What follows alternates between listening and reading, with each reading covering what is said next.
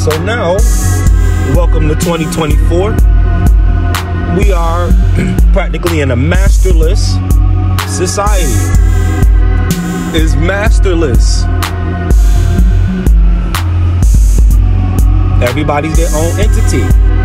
So now everything has to be recreated.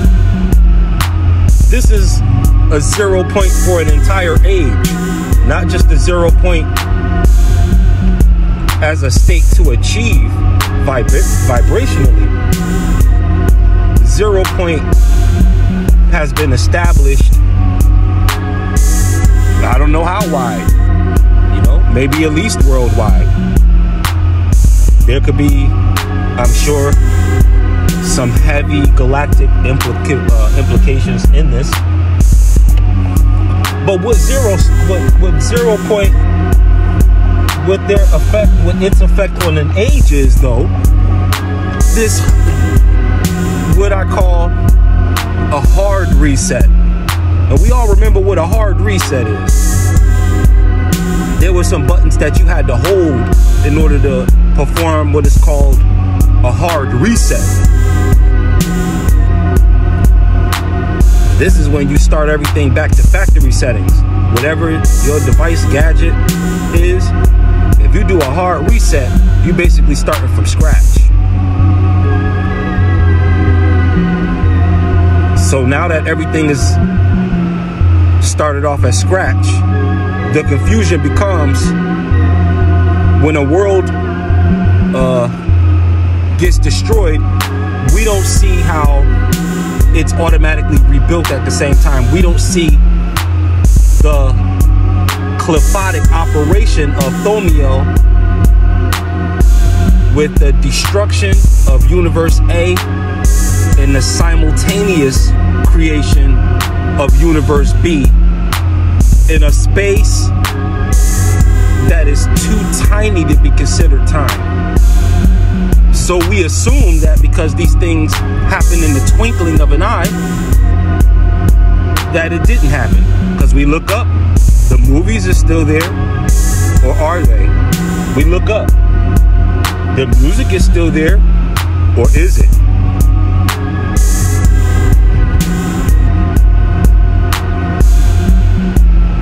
We look up, and things are different suddenly. But the, the entire process has been happening much more methodically than advertised. It's advertised like, whoa, we just came out with this just now, bang, bang, bang. But if you weren't distracted, you saw all the rough drafts in the late 90s and early 2000s. They're gonna do what? They're gonna do what? We're gonna be able to do what? With who? We'll be able to talk to anybody in the world in the palm of our hand and see them and them see us in real time, how they gonna pull that off? Is what we was thinking as kids. That's like Game Boy. That's like that's like Sega. We only had video game things to reference.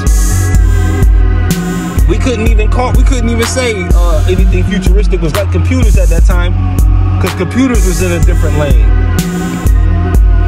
Those Macs didn't have color yet. Just playing brickles and black, white, and green. Yeah, for anybody who had a Mac back in like 1990, they wasn't calling them Macs. It was called an Apple. Not an i nothing. What you got? I got a Macintosh. I got a Macintosh. I got an Apple. This is what we were saying. I don't know if the adults were saying something else. I was like, I was like maybe eight or nine and it was all it was all floppy disk action. The hard reset is so hard. Pause, but the but the but the hard reset is so uh let's see what what's the what's the it's so overarching, right?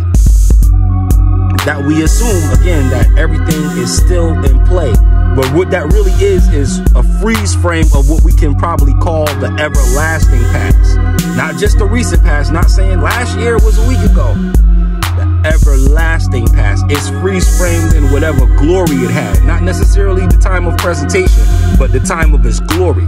This is why you have reboot on top of reboot on top of reboot. What that means is that that old system where those originals came out, that age and that time and that reality and that universe is really gone. All of that is part of Universe A. All of these reboots and remakes and spin-offs, this is Universe B. What, they, what, what people don't immediately realize in Universe B is that you can't base anything in Universe B on Universe A. So if you try to use anything from Universe A and bring it into Universe B, that's the reason why it doesn't work in Universe B. Because this is another universe. And the two universes don't work with the same kind of rules the rules of gravity and everything like that, temperature aren't even the same in different planets within the same solar systems, let alone universes. So it's all different. This is an exciting time if you're creative.